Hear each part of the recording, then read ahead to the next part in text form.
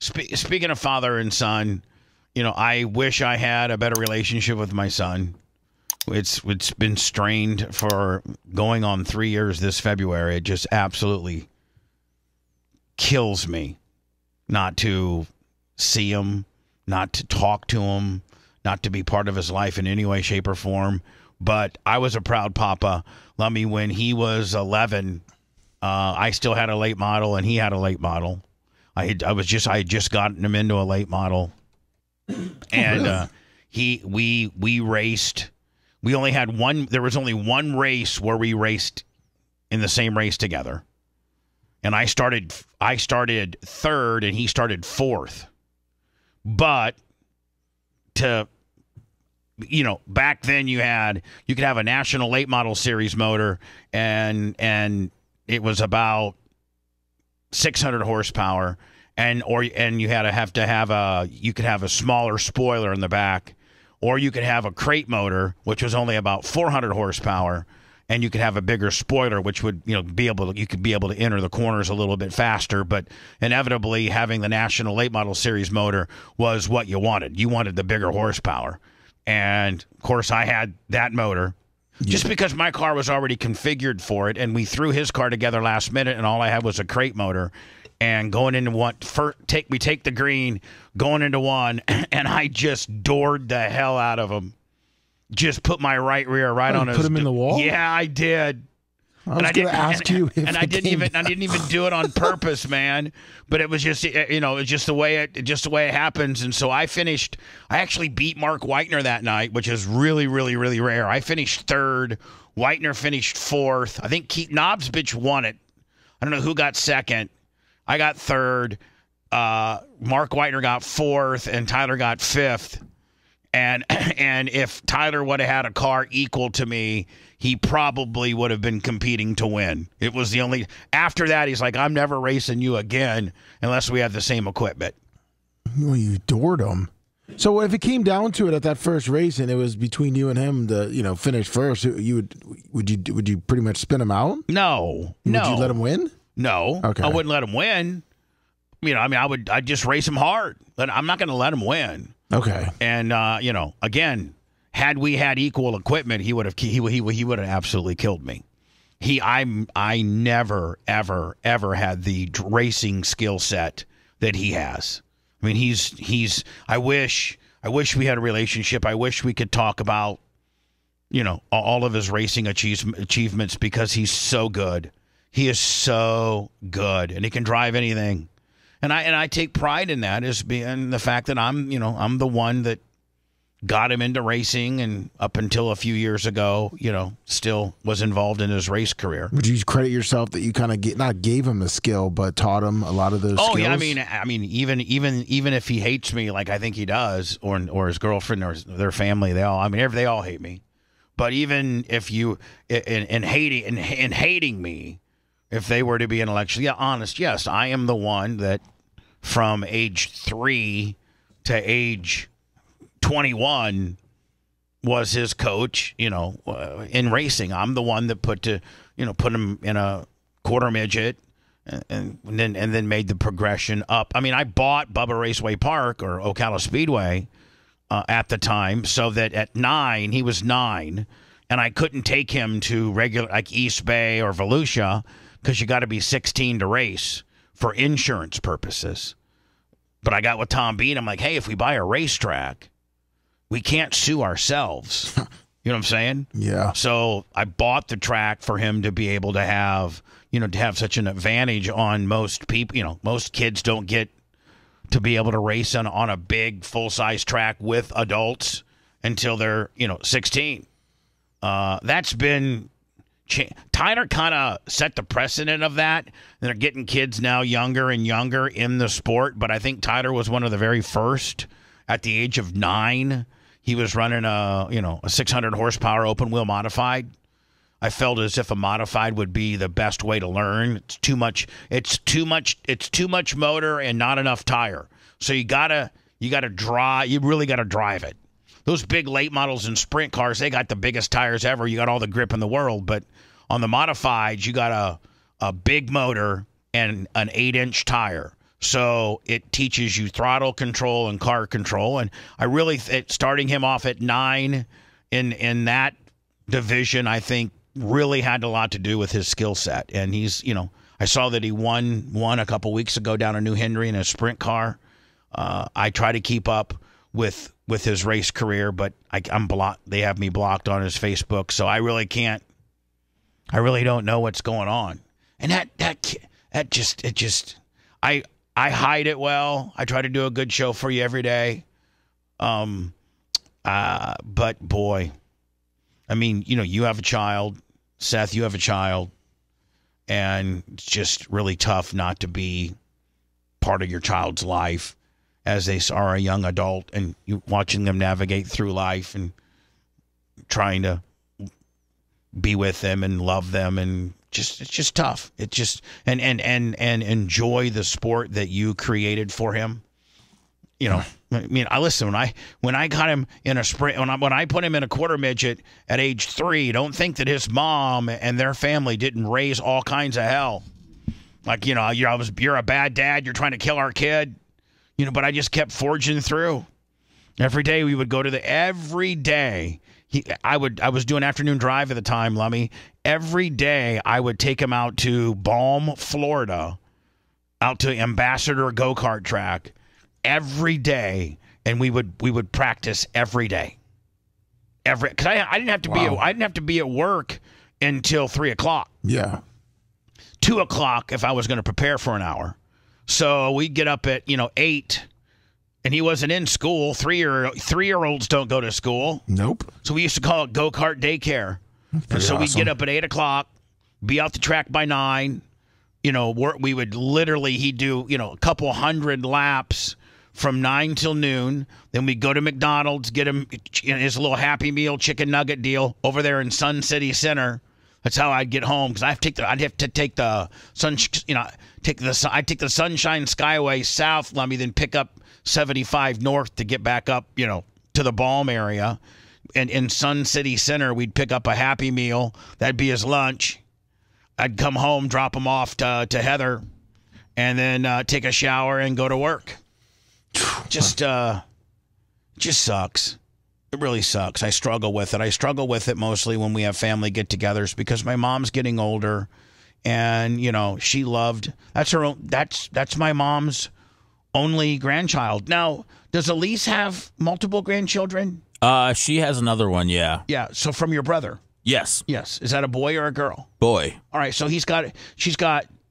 Sammy's probably the oldest. Yes. Sammy, and then your son, your her her grandson from your brother. Yeah. Can you can you imagine just if if if if if your grandma only had if your if if your grandma only had one one grand one grandson or one grandchild and that grandchild will have nothing to do with her. Now now it's not even her fault. It's not really anybody's fault. It's a big it's just, just a big family who done it that's just so sad. Well, there's no there's there's no clear path to, you know, uh, even a conversation that you guys could have. I've tried. I know. I know. It's just it's it's it's such a. It seems like such an insurmountable, you know, a task as far as just just contacting him. I've tried to email him on the on the on the email that I thought you know he uses. I've tried to text him. I've tried to text his girlfriend. I've tried to you know, people are like, "Well, you know, just show up at uh at at you know, I know he lives I think I think I don't know where he lives. I I don't. But I do know where sometimes he might. Uh, people that do follow his Facebook sometimes will give me some information and be like, "Hey, your son's racing in Volusia this weekend," you know. And there's there's some people that tell me, you know, just go to the track. But that would he doesn't want me there.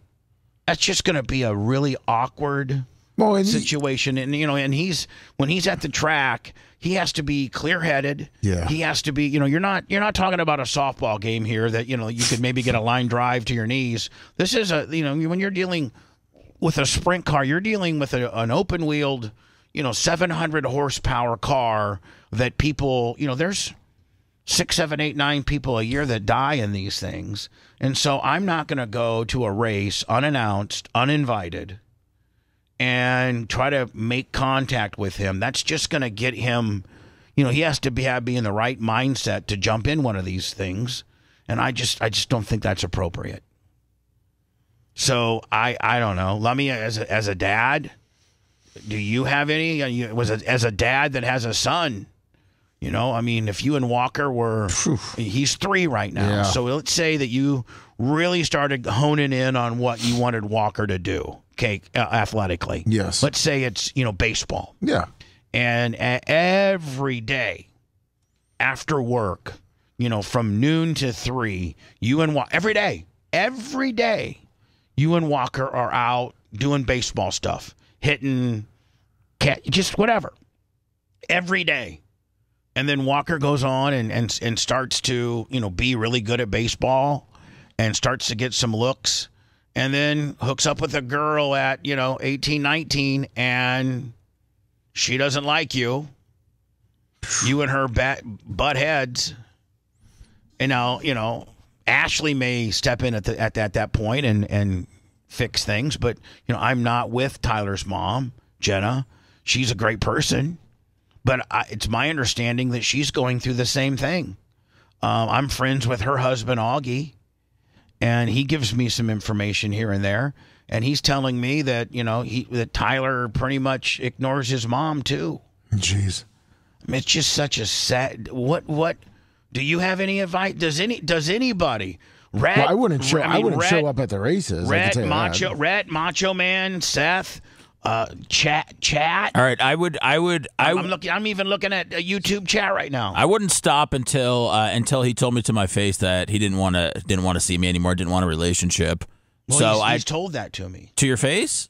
Or like just through text? Text. Nah, I'd want I'd I'd want him to say it to my face and then I and then I'd realize that uh, I did everything that I could. Yeah, yeah man, make him be a man about yeah, it. Yeah, man to man. If you I don't know, want me. But but I not do it at a race though. But but I okay, so how I cannot predict where he's like I if I see him at the mall, like I mean, I I, I can I can't. well, I'm gonna show up make... after the race, guy, but that's me. Yeah. That's I me. wouldn't do it before the race. You know not to do it before the race, but uh, the only place you know for a fact you're gonna find him is a place you know he's racing after he's done. All right, so you're saying, Rat, you know, know where he's racing, watch it from the bleachers because if listen if if you're a race car driver you're in the pits you don't know you don't know who the guy in the last couple rows of the top like you don't know who's in the grandstands you just don't you you don't make a racer never goes to the grandstands. A racer may look up at the grandstands, but you know I'm not gonna I won't I won't be all Bubba Armied out or anything, or maybe I won't even go to the races until you know it's over. I think the only way he would know you were there is if someone told him. Right. So just lay low. Maybe not even, maybe just sit in the parking lot until I know his feature's over. Right? Yeah, yeah there you sure. Sit in, sit you don't have par- to pay for a ticket at that point. Yeah, well, and then, you know, what do I do? Do I, do I go up to his car? Do I walk up to his, you know, to his hauler? And well, what do I, what do I do? Hey, what's up? I just say yeah. I would say welcome to a holler. Hey, holler. hey, let's uh, you, you got a second to talk, right? And what if he says no? I don't. I don't want to. I don't want to talk to you. I just he's go. I just wanted to know if this was going to be the extent of our relationship for the rest of our life because I miss you. Your aunt misses you. Your grandmother misses you, and you know I I I, I don't want this to be something that you know you end up possibly regretting one day. So I just want to make sure you're you're sound in your decision that yeah. uh, you definitely don't want to be part of this family anymore. Yeah, just lay it out there. I mean, the only thing you can do is be honest with him, let him know how you feel, and whatever he does and decides to do, that's his choice. But it, it ultimately gives you closure from your end because right. you can walk away from it knowing you did everything you can do. Right. And I looked at chat and they're like, hey, the Eddie funeral thing was wrong. No, I, I listen, let me explain that real fast before I go to words. So my stepfather, his grandfather, the only grandfather that he really knows, um, is my stepfather Jeff Eddie. And so we're in the middle of this. This is we're about a year into him not talking to me, and Jeff dies. And you know, at that point, the day before Jeff's funeral, he texts Nana, my mom, and says, you know, what what uh where's Jeff's services at? And she said, that's not the place for us to try to fix our relationship. I would prefer you not attend. You didn't know Jeff when he was you know, for a year you've you ignored him. And boy, by the way, him and Eddie, him and Jeff used to, you know, used to go golfing all the time. Like he loved his grandpa. He, him and his grandpa were close. And grand and, and Eddie, his grandpa, for a year tried to get a hold of him and say, please, please, Tyler, come come talk to, to us.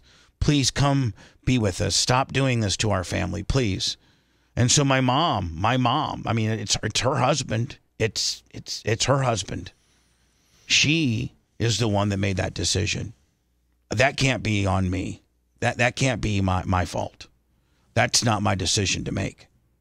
And if she felt as if, you know, showing up at a guy's funeral that you haven't had a relationship with for a year isn't the way that we're going to repair this situation. Isn't bad so blood I- put I- aside a funerals? Yeah, but I, but but I but I I I did I st- I stand by my mom's decision. No, I You get know, that. Now, now now you're making this potentially about us. It, it's not about Tyler and me or Tyler and my mom or Tyler and paying his respects to Eddie. It's all about paying your respects to Eddie.